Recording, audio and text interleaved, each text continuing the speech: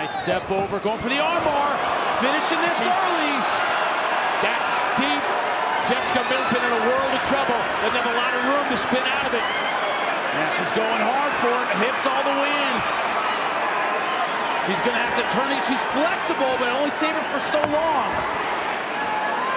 But she is not letting this go. Trying to put it behind the armpit. There it is. Every time we see her, Ilima-Lei Macfarlane is more and more impressive.